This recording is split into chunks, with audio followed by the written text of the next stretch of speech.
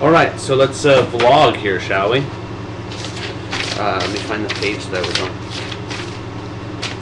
So I have these ideas um, of connectivity and how everything's related and the systems that are re- repeated on the layers of reality. Um,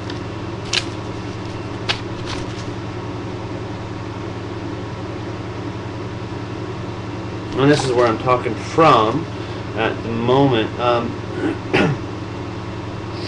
uh, it's uh, being able to identify.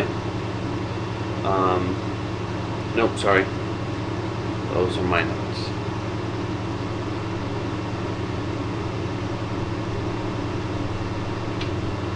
I thought that was it. That is. Oh, here it is. No, this is the right one.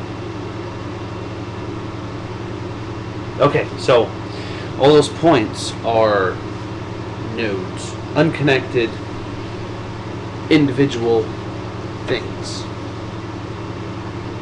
And uh, I want to talk about um, digital connectivity. Save on multiple drives, uh, uh, save on storage by use of multiple drives.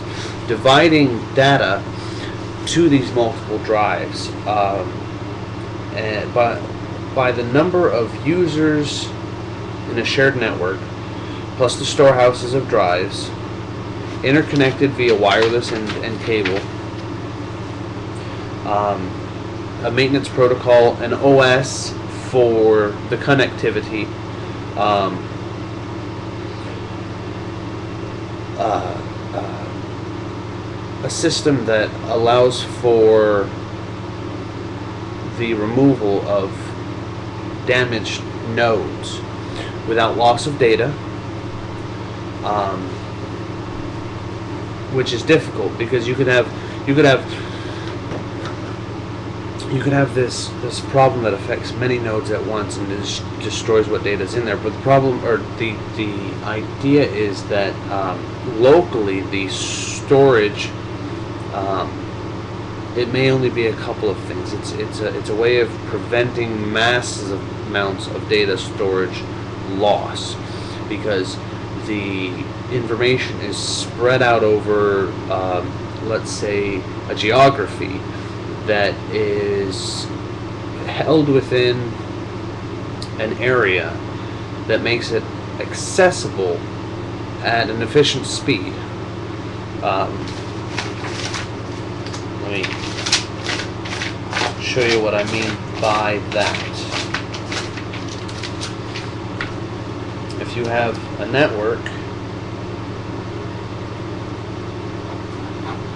of connected nodes,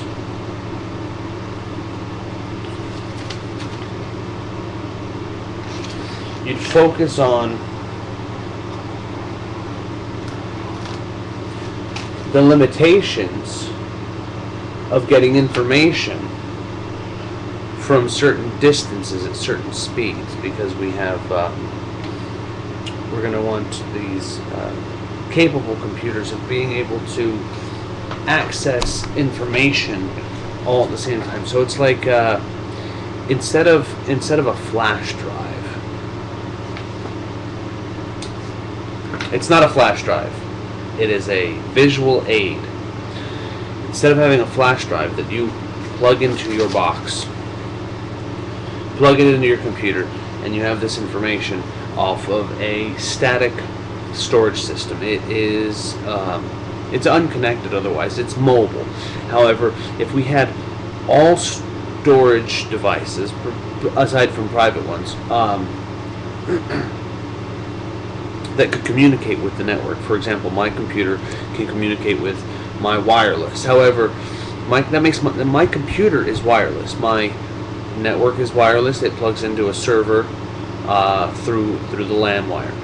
But there are wireless computers, wireless networks in the area. I'm talking about connecting those wireless hubs to each other. I'm talking about connecting the computers themselves to each other.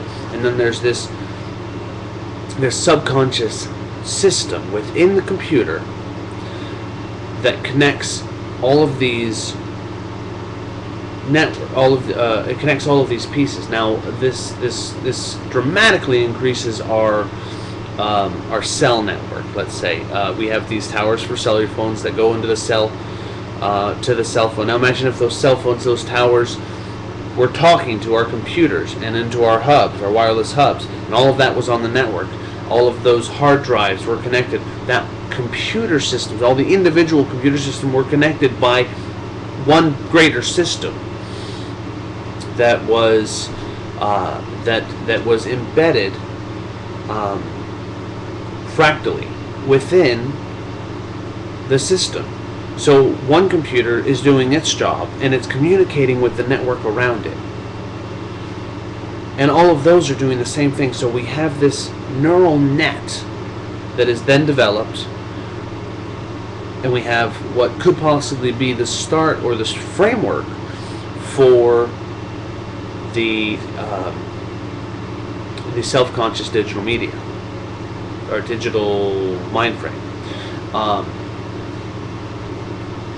um, I also wanted to say that uh, if you have just one drive,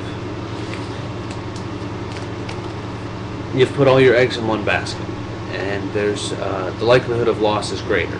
If you're missing, if you're missing a quantum of information on your picture, you're not going to notice. You might lose larger portions um, comparably to virus or disease. Um, but these are all measures that we can account for. These are things that we can look ahead at and resolve, and then also, if we haven't, we can take action when it happens. Data loss is, it, it's it's as important and fragile as human life itself. Um, because we've created a giant memory bank. We're putting all of all of us, all of ourselves into this memory bank, but we don't have a way of securing that uh, and, and maintaining it for future generations, for the possible uh, the possibility of uh, surviving after us when we're gone. So we need to find these solutions that uh, create a, a, a non-degradable um, memory system, uh, non-pollutant and balanced within the environment. I've got to go now. I'll have to get back to reading this later. Where's that stop button?